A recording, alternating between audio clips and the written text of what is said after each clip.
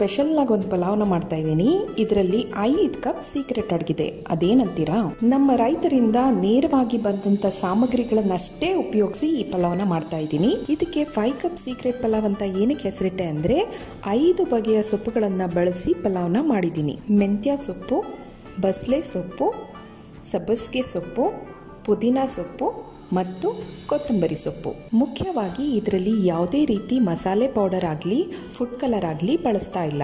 ರೆಸಿಪಿಗೆ ಹೋಗೋದಕ್ಕಿಂತ ಮುಂಚೆ ನೀವಿನ್ನೂ ನಮ್ಮ ಚಾನಲ್ನ ಸಬ್ಸ್ಕ್ರೈಬ್ ಮಾಡಿಲ್ಲ ಅಂದರೆ ದಯವಿಟ್ಟು ಕೆಳಗೆ ಕಾಣೋ ರೆಡ್ ಸಬ್ಸ್ಕ್ರೈಬ್ ಬಟನ್ನ ಕ್ಲಿಕ್ ಮಾಡಿ ಮತ್ತು ಪಕ್ಕದಲ್ಲೇ ಕಾಣೋ ಬೆಲ್ ಐಕನ್ನ ಕ್ಲಿಕ್ ಮಾಡಿ. ಮಸಾಲೆಗೆ ಬೇಕಾಗುವ ಸಾಮಗ್ರಿಗಳು ಒಂದು ಮೀಡಿಯಂ ಸೈಜ್ ಟೊಮ್ಯಾಟೊ, ಎರಡು ಮೀಡಿಯಂ ಸೈಜ್ ಈರುಳ್ಳಿ, ಏಳರಿಂದ ಎಂಟು ಹಸಿಮೆಣಸಿನಕಾಯಿ, ಅರ್ಧ ಇಂಚ್ ಶುಂಠಿ, ಒಂದು ಬೆಳ್ಳುಳ್ಳಿ. ಇತರೆ ಪದಾರ್ಥಗಳು ಅರ್ಧ ಕಪ್ ಹಸಿ ಬಟಾಣಿ, ಕಾಲ್ ಕಪ್ ಮೊಸರು, ಒಂದು ಟೇಬಲ್ ಸ್ಪೂನ್ ತುಪ್ಪ, ಎರಡು ಸಣ್ಣ ಪೀಸ್ ಚಕ್ಕೆ, ಎರಡು ಏಲಕ್ಕಿ, ಒಂದು ಬಾತಿಲೆ, ಒಂದು ಮರಾಠಿ ಮೊಗ್ಗು, ನಾಲ್ಕು ಲವಂಗ, ಒಂದು ಅನಾನಸ್ ಹೂ. ಪಲಾವ್ ಸ್ಟಾರ್ಟ್ ಮಾಡೋದಕ್ಕಿಂತ ಮುಂಚೆ ನಾನಿಲ್ಲಿ ಎರಡು ಗ್ಲಾಸ್ ಸೋನಾ ಮಸೂರಿ ಅಕ್ಕಿನ ಚೆನ್ನಾಗಿ ತೊಳೆದು ಒಂದು ಇಪ್ಪತ್ತು ನಿಮಿಷ ನೆನೆಯೋದಕ್ಕೆ ಬಿಡ್ತೀನಿ. ಈಗ ಸ್ಟಾರ್ಟ್ ಮಾಡೋಣ. ಮೊದಲಿಗೆ ಒಂದು ಪ್ಯಾನ್ಗೆ ಸ್ವಲ್ಪ ಎಣ್ಣೆನ ಹಾಕಿ ಕಟ್ ಮಾಡ್ಕೊಂಡಿರೋಂಥ ಈರುಳ್ಳಿ, ಬೆಳ್ಳುಳ್ಳಿ ಹಾಗೂ ಶುಂಠಿನ ಹಾಕಿ ಸ್ವಲ್ಪ ಹೊತ್ತು ಹಾಗೆ ಹುರ್ಕೊಂಡು ನಂತರ ಇದಕ್ಕೆ ಹಸಿ ಮೆಣಸಿನಕಾಯಿನ ಹಾಕಿ ಈರುಳ್ಳಿ ಕಲರ್ ಚೇಂಜ್ ಆಗೋ ತನಕ ಹುರ್ಕೊಳ್ತೀನಿ.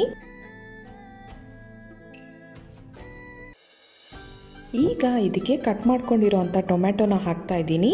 ಟೊಮೆಟೊ ಸ್ವಲ್ಪ ಸಾಫ್ಟ್ ಆಗೋ ತನಕ ಹುರ್ಕೊಳ್ತೀನಿ.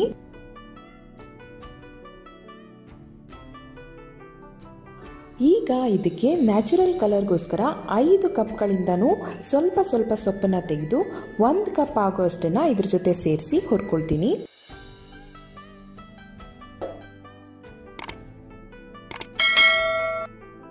ಈಗ ಸ್ಟವ್ ಆಫ್ ಮಾಡಿಕೊಂಡು ಇದು ತಣ್ಣಗಾಗಕ್ಕೆ ಬಿಡೋಣ.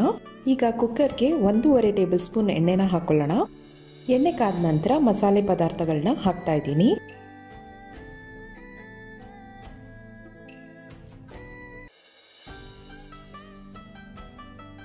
ಅನಂತರ ಇದಕ್ಕೆ ಕಟ್ ಮಾಡ್ಕೊಂಡಿರೋಂಥ ಒಂದು ಮೀಡಿಯಂ ಸೈಜ್ ಈರುಳ್ಳಿನ ಹಾಕಿ, ಈರುಳ್ಳಿ ಕಲರ್ ಚೇಂಜ್ ಆಗೋ ತನಕ ಹುರ್ಕೊಳ್ತೀನಿ.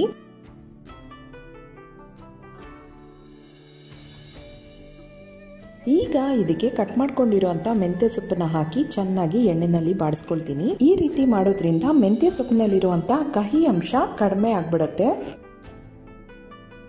ಈಗ ಇದಕ್ಕೆ ಸ್ವಲ್ಪ ಗೋಡಂಬಿನ ಹಾಕ್ತಾ ಇದ್ದೀನಿ.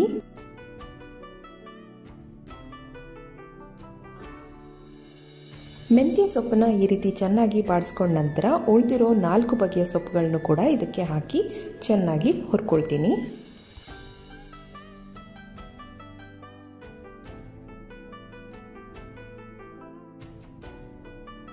ಸೊಪ್ಪು, ಬೇಯೋ ತನಕ ಹುರಿದಿಟ್ಟಿದ್ದಂಥ ಮಸಾಲೆ ಪದಾರ್ಥಗಳನ್ನ ರುಬ್ಕೊಳ್ಳೋಣ. ಇದಕ್ಕೆ ಸ್ವಲ್ಪ ನೀರನ್ನು ಹಾಕಿ ರುಬ್ಕೊಳ್ತೀನಿ.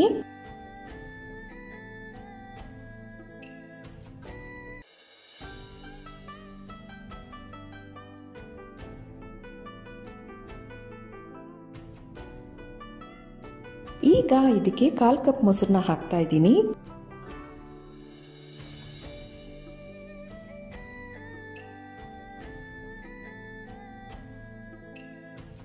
ರುಬ್ಕೊಂಡಿರುವಂಥ ಮಸಾಲೆನ ಹಾಕ್ತಾ ಇದ್ದೀನಿ.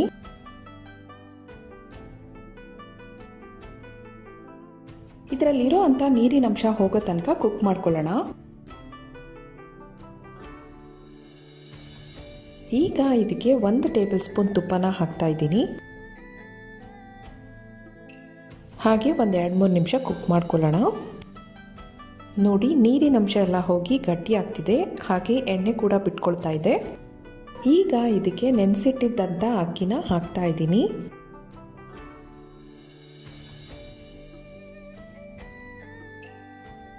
ಹಾಗೆಯೇ ಹಸಿ ಬಟಾಣಿನೂ ಕೂಡ ಹಾಕ್ತಾ ಇದ್ದೀನಿ. ಈ ಟೈಮ್ನಲ್ಲಿ ಬಟಾಣಿನ ಹಾಕೋದ್ರಿಂದ ಒಂದು ಹದವಾಗಿ ಬೇಯತ್ತೆ. ಎರಡು ಗ್ಲಾಸ್ ಅಕ್ಕಿಗೆ ನಾಲ್ಕು ಗ್ಲಾಸ್ ನೀರನ್ನು ಹಾಕ್ತಾ ಇದ್ದೀನಿ.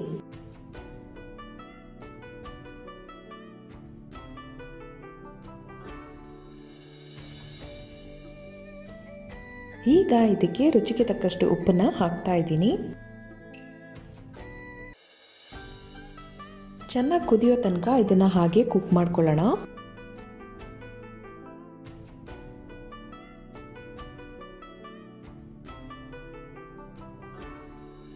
ಈಗ ಉರಿನ ಲೋ ಫ್ಲೇಮ್ ಮಾಡಿಕೊಂಡು ಮುಚ್ಚಳನ ಮುಚ್ಚಿ ಒಂದು ಕೂಗ್ ಕೂಗಿಸ್ಕೊಳ್ಳೋಣ. ಪಲಾವ್ ಅಂದಮೇಲೆ ಅದ್ರ ಜೊತೆಗೆ ಮೊಸರು ಬಜ್ಜಿ ಅಥವಾ ರಾಯ್ತಾ ಇಲ್ಲ ಅಂದ್ರೆ ಹೇಗೆ ಹೇಳಿ? ಹಾಗಿದ್ರೆ ಕುಕ್ಕರ್ ಕೂಗೋ ತನಕ ಸಿಂಪಲ್ ಆಗಿ ಒಂದು ರಾಯ್ತಾ ಮಾಡೋಣ. ನಾನಿಲ್ಲಿ ಒಂದು ಕಪ್ ಫ್ರೆಶ್ ಕಾರ್ಡ್ನ ತಗೊಂಡಿದ್ದೀನಿ ಇದನ್ನ ಚೆನ್ನಾಗಿ ಬೀಟ್ ಮಾಡ್ಕೊಳ್ತೀನಿ. ಈಗ ಇದಕ್ಕೆ ರುಚಿಗೆ ತಕ್ಕಷ್ಟು ಉಪ್ಪನ್ನ ಹಾಕಿ ಚೆನ್ನಾಗಿ ಮಿಕ್ಸ್ ಮಾಡ್ಕೊಳ್ತೀನಿ. ಇದಕ್ಕೆ ಸಣ್ಣದಾಗಿ ಹೆಚ್ಚಿಟ್ಕೊಂಡಿರುವಂತ ಈರುಳ್ಳಿ, ಕ್ಯಾರೆಟ್ ತುರಿ, ಕೊತ್ತಂಬರಿ ಸೊಪ್ಪನ್ನ ಹಾಕಿ ಚೆನ್ನಾಗಿ ಮಿಕ್ಸ್ ಮಾಡ್ಕೊಳ್ತೀನಿ. ಸಿಂಪಲ್ ಆಗಿ ಒಂದು ರಾಯ್ತಾನು ಕೂಡ ರೆಡಿ ಆಯ್ತು. ಒಂದ್ ವಿಷಲ್ ಆಗಿದೆ. ನೀವು ಮೆಂತ್ಯ ಬಾತ್ ಕೇಳಿದ್ದೀರಾ, ಪುದೀನಾ ಬಾತ್ ಕೇಳಿದ್ದೀರಾ? ಇದು ನೋಡಿ ಐದು ವೆರೈಟಿ ಸೊಪ್ಪಿನಿಂದ ಮಾಡಿದ tasty and healthy pulao ready ಆಗಿದೆ ಏನೋ ಒಂದು ಐಡಿಯಾ ಬಂತು ಎಲ್ಲಾ ರೀತಿ ಸೊಪ್ಪನ್ನ ಹಾಕಿ ಪಲಾವ್ ಮಾಡಿದ್ರೆ ಹೇಗ್ ಬರುತ್ತೆ ಅಂತ. ಬಟ್ ಅಂದ್ಕೊಂಡಿದ್ದಕ್ಕಿಂತ ಟೇಸ್ಟಿಯಾಗಿ ಡಿಫ್ರೆಂಟ್ ಆಗಿ ಬಂದಿತ್ತು. ನೀವು ಒಮ್ಮೆ ಎಲ್ಲಾ ರೀತಿ ಸೊಪ್ಪನ್ನ ಹಾಕಿ ಪಲಾವ್ನ ಮಾಡಿ ನಿಮ್ಮ ಅನಿಸಿಕೆಯನ್ನ ದಯವಿಟ್ಟು ಕಮೆಂಟ್ ಮೂಲಕ ತಿಳಿಸಿ. ನಿಮ್ಗೆ ಈ ವಿಡಿಯೋ ಇಷ್ಟ ಆಗಿದ್ರೆ ದಯವಿಟ್ಟು ಲೈಕ್ ಮಾಡಿ ಶೇರ್ ಮಾಡಿ ಮತ್ತು ಸಬ್ಸ್ಕ್ರೈಬ್ ಆಗೋದನ್ನ ಮರಿಬೇಡಿ. Thank you for watching bye